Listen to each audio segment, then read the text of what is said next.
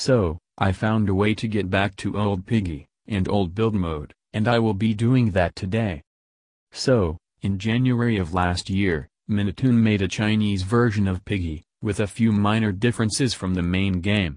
In the end, the game wasn't very successful since Roblox was practically banned in China, but the game is still active.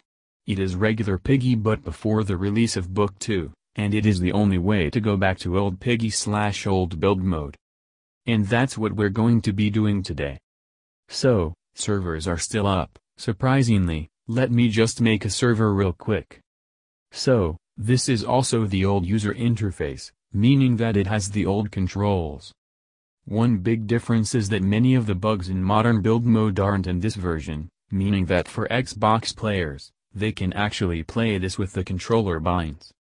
I'm going to build something now, so let's see what I can make really quickly.